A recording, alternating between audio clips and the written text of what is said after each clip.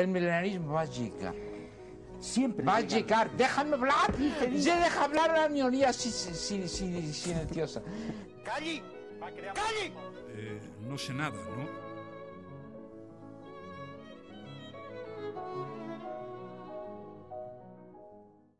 Y volvemos eh, este 2021 con nuestra queridísima Marta Gómez y su Martropología. Buenas tardes, Marta, ¿cómo estás? Buenas tardes, feliz año nuevo a todos los ¿Cómo fans estás? No es una Sayona. pregunta, es una afirmación. Marta, ¿cómo estás? ¿Cómo estás? Pues es ¿Cómo cierto, estás? estoy, estoy, de muchas maneras, cada día más a lo ancho, pero bueno, no, no es verdad.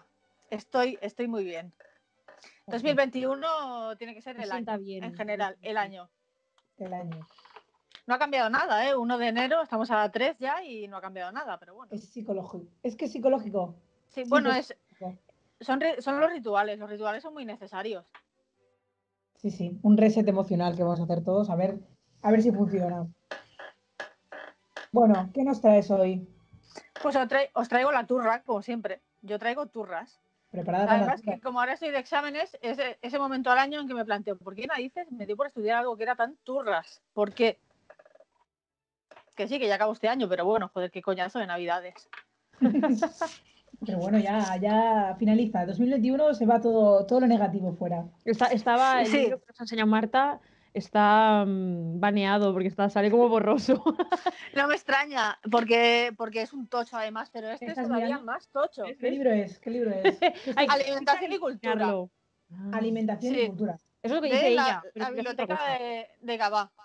De Gabá. ¿Y por qué ha sido Gabá? ¿Qué en el plato de los? Eh, de alimentación y antropología este año no, por lo visto, porque todos están en otras bibliotecas de la Xarxa Municipal. Así que me tuve que ir a Hospitalet y a Gabá a encontrar libros. Pues venga, Prado y Obregat, Venga. ponte las pilas, por favor, que Marta tiene que estudiar. ¿Sabes cuándo traerán los libros que me hacen falta? Pues a partir de junio o así que acabo la carrera. Ya, sí, bueno. Exactamente. Típica. Para las siguientes generaciones. Aquí cada uno luchamos siempre para las siguientes generaciones. Exacto. Hemos venido a hablar de los Reyes Magos a todo esto, ¿no? Sí, sí, sí, Muy sí, bien. realmente. Pues yo he venido a hablaros del mito de los Reyes Magos. De Vale. por, de por qué es un mito. ¿Qué diríais que es un mito? Seguro que decís que es algo falso. No, más, yo pienso que un mito es más rollo leyenda, ¿no? Que debe marcar un origen Exacto. tradicional de algo, ¿no? Y Exacto. que luego al una- paso de los años, pues como que evoluciona. El-. Los Reyes Magos cumplen la estructura de los mitos, con- concretamente porque es la narración sagrada sobre los orígenes. En este caso, eh, orígenes del mundo prácticamente, que es el mundo moderno, la el nacimiento de Jesucristo. A partir de ahí eh, empieza una nueva era, ¿no? A ver quién Mm. nace este año, que marque otra nueva era. Y, Pues el hijo y bueno, de esta es la- Elon Musk. Y Dios- eh, pero entonces se acaba el planeta ya. Sí.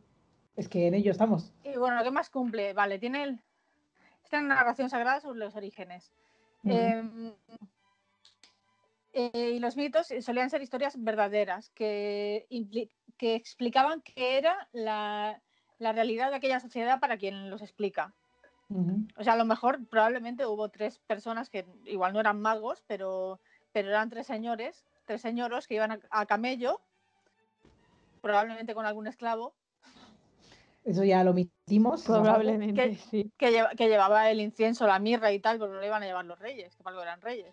¿Qué es la mirra? ¿Nunca te la has preguntado? No, este- no, esta pregunta no. Es una especia, ¿no? No es, no es 2021. como.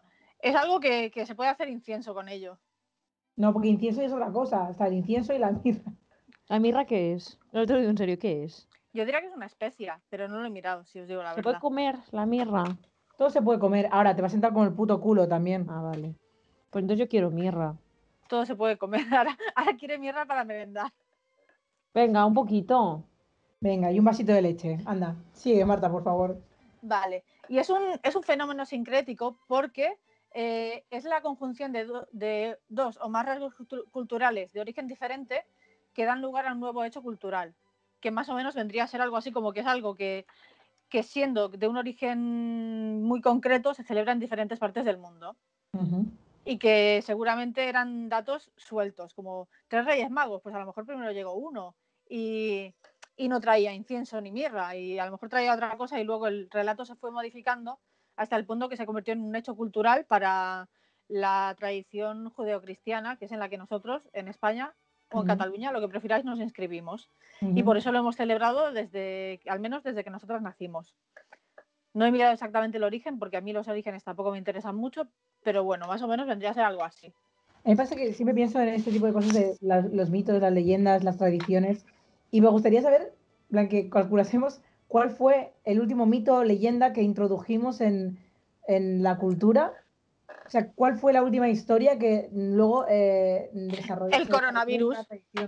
El ¿Crees que se va a coronavirus, hombre, el, coronavirus es un mito y tiene un relato. Y eh, existe también el mito de los sanitarios, que tiene un ¿Eres relato alrededor. negacionista, Marta? ¿Eres No. negacionista? No, no, no. Bueno, no bueno, Marta. Yo no, no, no, yo no, que quede claro que yo no utilizo nunca jamás la palabra mito como equivalente a falsedad. Un mito es una narración Sí. y no es una narración falsa, es una narración. Y Ujú, en la narración de que los sanitarios son héroes es una narración, es un mito. Es un mito también eh, la productividad, que cuando empezó el confinamiento todo el mundo hacía yoga, todo el mundo hacía cosas. O sea, no Mm. veías a la gente poniendo en Facebook, eh, llevo tres horas mirando fijamente el techo, sin moverme. No, no, la gente solo hacía cosas heroicas. He hecho cuatro horas seguidas de ejercicio mirando a la Pedroche en su Instagram. ¿Qué dices? ¿Por qué? ¿Para qué? Pues esos son mitos. Así es como se generan mitos. Y el coronavirus es un mito, no porque sea falso. Yo no, no soy negacionista y no creo que sea falso, sino porque se ha convertido en un mito. Todo el mundo tiene una, ra- una narración al respecto de ello. Pero Sí. a, a la vez hay una narración conjunta. Pues este es el nuevo mito de la sociedad. Luego, seguro que si escarbas en tu, en tu vida, Rocío, tendrás propios mitos personales que has generado en los últimos tiempos. Bueno, últimamente no mucho, pero bueno. Me pasan muchas cosas. Estoy muy aburrida, estoy muy aburrida. Quiero que me pasen Sí. cosas. Se- No, señores de la Generalitat, cosas, cambie- porque a veces las cámbienos cosas que los pasan confinamientos. Cámbienos los confinamientos ya, por favor. Que nos aburrimos. ¿No ven que no tenemos mitos ya que contar? Por favor, señor, señor Aragonés, quítenos el confinamiento perimetral de los fines de semana. Exacto, queremos generar mitos, por favor. Queremos poder llevar incienso, mirra y oro al próximo niño Jesús. Eso es. ¿Te imaginas una cita? Llevar incienso- ¿Por qué? Lo- los mitos y el de los Reyes Magos también tiene una dimensión performativa. Esto significa que hace que la gente actúe. En este caso, la gente actúa haciéndose regalos, que es a su vez pues, un- es un intercambio social que podría hacerse de muchísimas maneras. O sea, yo no necesito una Barbie, a lo mejor necesito dinero, pero lo que recibo, bueno, de pequeña no, pero puede ser una Barbie como puede ser cualquier otra cosa.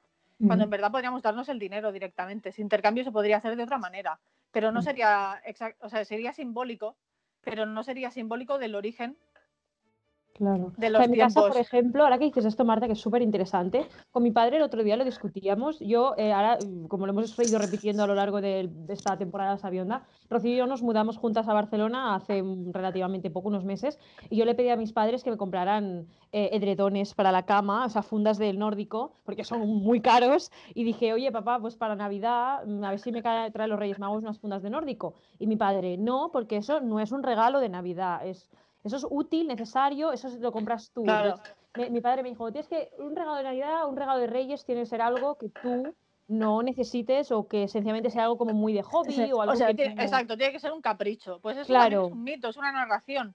Que los regalos de Navidad, de Reyes, incluso los de cumpleaños a veces, no tienen que ser útiles, sino que tienen que ser caprichos. Tienen que ser cosas que no necesitamos, que viene del mito de la producción y de, y de la publicidad en los años 50, viene de Mad Men. Vamos a hacer que la Buena. gente Todo desee- viene de Van No, no, en serio, es buenísima Todo- esa serie, ¿eh? todo viene cosas de, todo viene de Mad Men. Vamos a hacer que la gente desee cosas que no necesitan para nada. No necesitamos el tabaco para nada. Bueno, sí, la economía, la economía circular lo necesita, pero nosotros y nuestros Sí. cuerpos no. Pero yo creo que los regalos tienen más que ver con el hecho de demostrar que tú conoces a esa persona y conoces Claro. a cosas que le hacen ilusión, no como darle cosas útiles. Claro, también depende de la situación de cada persona, ¿no? Pero quiere decir que normalmente vamos como a esos caprichos porque son como la típica cosa que tú, teniendo tu dinero, no te vas a comprar porque precisamente piensas que es un capricho, pero si te lo compra alguien, Claro. está Claro. demostrando que te escucha, que te conoce, que sabe lo que te gusta y sabe en plan, mira, tú no te vas a comprar, pero te lo compro yo como detalle. O sea, básicamente nos hacemos regalos unos a otros para no sentirnos mal con nosotros mismos por gastarnos nuestro dinero. Bueno, Podría ser. Podría ser. Lo que pasa es que también a mí me chirrea un poco el argumento este de que Navidades, o sea, las Navidades son una época consumista y tal. Yo me pregunto, ¿es que el resto del año nos vais a comer a restaurantes? ¿Es que el resto del año nos compráis cosas? No, Anda no. ya, vamos a ver. Eh, vivimos en la era del La Navidad es lo contrario, cual- la Navidad es la excusa para decir, pues lo voy a hacer, pero con excusa de para celebrar y ya está. O sea, que Eh, tú, como yo, también has estado tragándote todas las pelis navideñas de Hombre, Netflix. Lo hablamos en el, en el especial de Nochevieja y, y creo que ya casi casi las he terminado todas, pero es que todas al final acaban mandando ese mensaje de amor y paz. Yo estoy muy zen y lo comparto Es totalmente. de amor y paz solo de Además- gente blanca, ¿eh? Y matrimonios de Karens en Estados Unidos, ya está. Eso es la Navidad. Pero bueno, vaya, que ya irá evolucionando, esperemos, como los No, mitos. pero la de Vanessa Hudgens. La- y la de, y la negro. y la de- ¿Qué? y la del calendario, la del calendario, la protagonista es negra. Bueno, es, es más bien, es como más mm, café con leche, pero es, pero es, es de origen afroamericano. Pero sí, en general es, es cuando tu dinero es blanco, tú no puedes decir que eres negro. O sea, eres negro, pero no eres negro como se reivindica la negritud en África, por ejemplo. O sea, hay un texto muy interesante que se pregunta si Obama es negro. ¿Obama es negro? Sí. Obama es negro en Estados Unidos. Obama lo juntas en Nigeria y de negro no tiene nada, y no lo digo por el tono de su piel. Lo digo porque ha estudiado en las mejores universidades americanas con dinero blanco Claro, pero entonces. y no un es- estatus socioeconómico blanco. Pero no resulta racista que es como si sales de la pobreza entonces ya no eres negro. Eso no, o sea, yo Claro, no tiene que ser precisamente la, la demostración de la lucha de podemos pero- no es que- derechos es que- y el mismo nivel de vida No es que no tengas que serlo, quiere, ¿sabes? es que de, fa- de facto no lo eres. ¿Y esto con los Reyes Magos que tenía que ver? Nada, es nada, pero, pero hemos, en hemos empezado, hemos empezado con las pelis navideñas de. Netflix y, y nos hemos desviado un poco. Sí, sí, no, es que ahora estábamos hablando de esto, de, de- de que la historia, el, el mito habla de Melchor, Gaspar y Baltasar, que Baltasar es rey negro, pero en Madrid parece ser que ya no es negro. No, Porque está quien está gobernando, cariño. Entonces esa gente pues fuerte, ¿eh? obvian a la gente que quieren obviar. Pero, el mapa. ¿qui- qui- ¿quién ha sido? ¿Almeida Carapolla o...? Perdón, No. ¿no? O- Pues ¿Quién ha sido? de los dos, como ponía Madrid, Ya, como es verdad, Madrid podría siempre sido- asumen que saben de lo que, o sea, que el resto de España sabemos de lo que están hablando. Sí. No Madrid, ma- vale, Madrid, pero Madrid, ciudad, Madrid, eh, comunidad, es que, bueno, y así siempre. Es- o sea, la misma gente que se quejaba de las reinas magas de, de la legislatura de Carmena han quitado el rey negro para poner uno blanco. Vaya. Ya, mm, interesante. Cuéntame más. la hipotenusa, eh, te lo digo. Sí, sí, sí.